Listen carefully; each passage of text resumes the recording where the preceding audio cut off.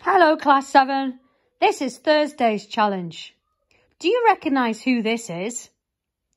Well, if you remember the challenge from Monday, who's in charge, and I asked you to think about what you would do if you were in charge, I had a think too, and I would like to be this character. Can you think why? This character is from a very famous book, one of my favourites by my favourite author and illustrator.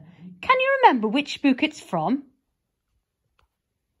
Let me remind you.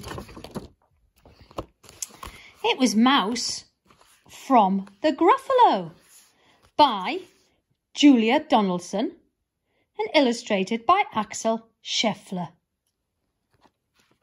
I love this book for many, many different reasons.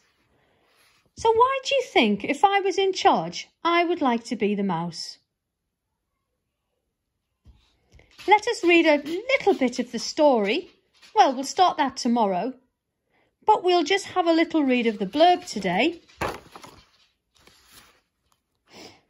A mouse took a stroll through the deep dark wood. A fox saw the mouse, and the mouse looked good walk further into the deep dark wood and discover what happens when the quick thinking mouse comes face to face with an owl, a snake, and a hungry Gruffalo.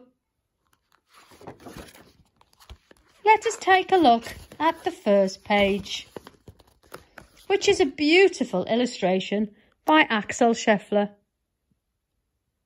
What can you see in this picture?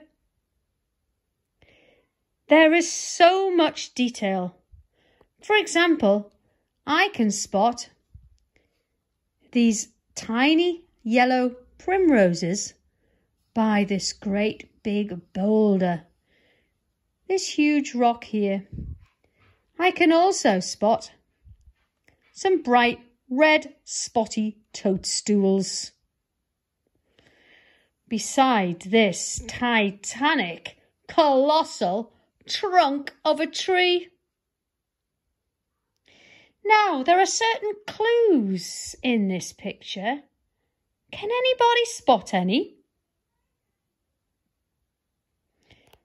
This could be a clue here. Or this snapped stick. This little creature here.